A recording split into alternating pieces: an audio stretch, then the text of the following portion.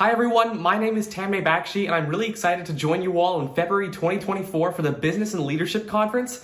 I'm especially excited because over my years of working with AI and machine learning technology, of course, there has been a lot of hype.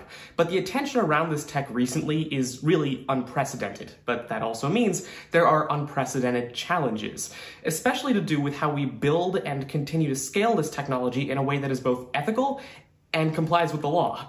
Especially, how do you make sure that you're remaining competitive while also making sure you're not compromising privacy at scale, making sure that your solutions are even effective and still deliver a delightful user experience?